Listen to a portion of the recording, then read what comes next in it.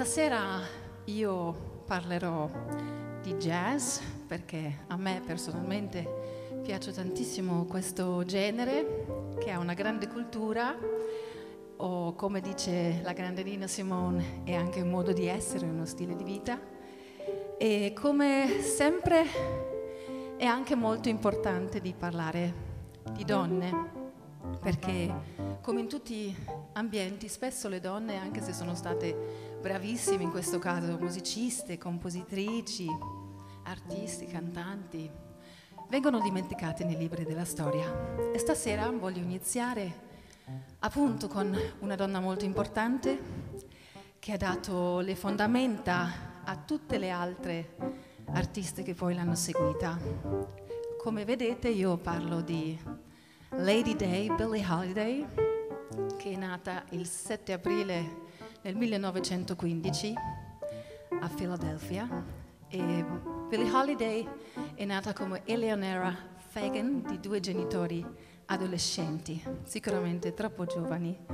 Infatti l'infanzia di Billie Holiday è stata purtroppo caratterizzata da violenze e abusi sessuali e dopo essersi dopo essere arrestata dalla polizia per prostituzione e per non doversi più prostituire, si esibisce in un nightclub come ballerina, però si rende conto subito che non è molto capace come ballerina e così decide di cantare. E il resto noi lo conosciamo.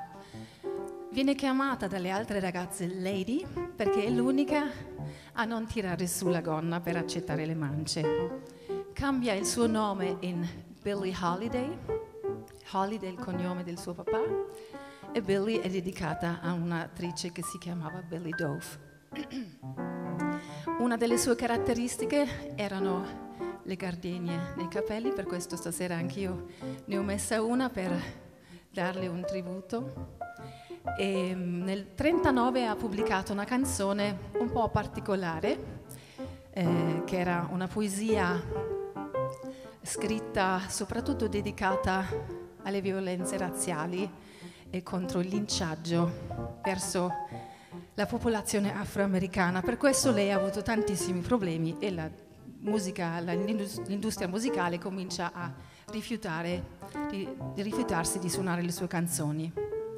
Più avanti viene arrestata per possesso di droga e perde la sua cosiddetta cabaret card, che a New York serve per potersi esibire in uh, nightclub, jazz club e quindi diciamo che la sua carriera ha un brusco fine.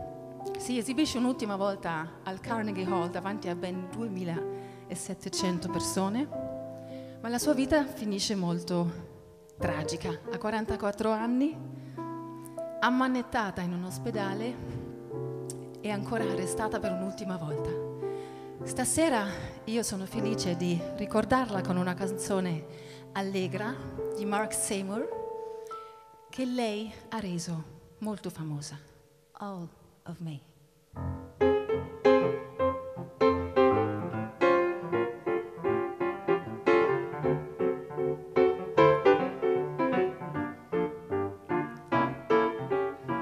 All of me, why not take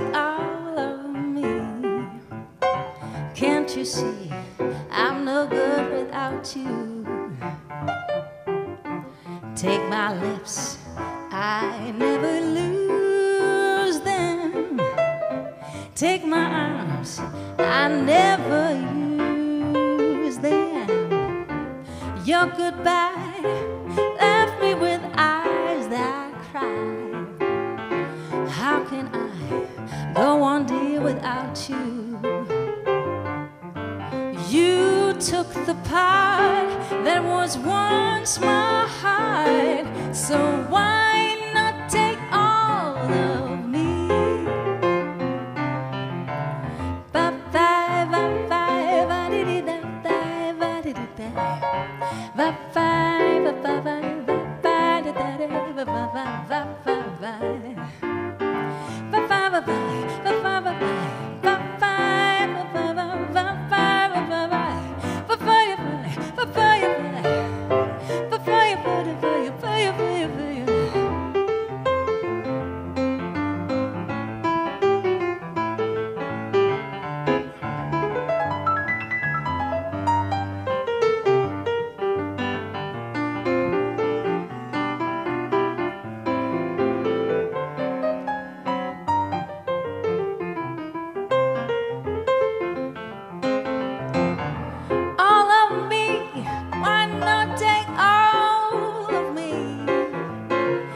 Can't you see I'm no good without you?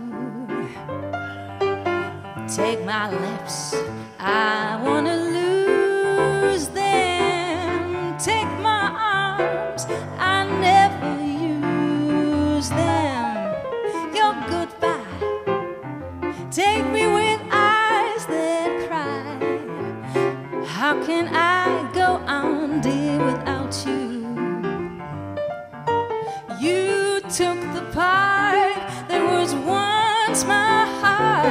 So why not take all? So why not take all? So why not take all of me?